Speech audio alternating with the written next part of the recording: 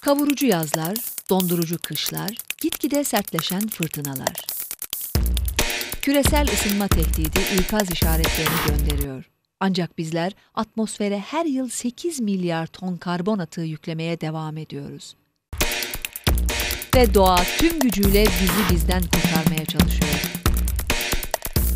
Doğanın yardım elini çekmesi halinde gezegenimizi bekleyen tehlikeler Şubat ayında National Geographic'te.